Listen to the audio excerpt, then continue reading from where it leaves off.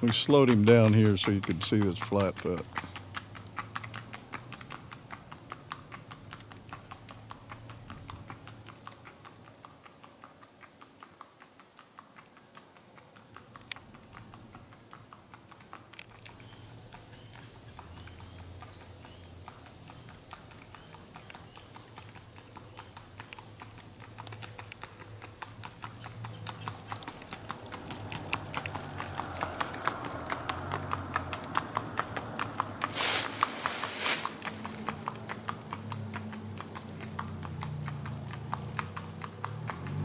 Traffic jam.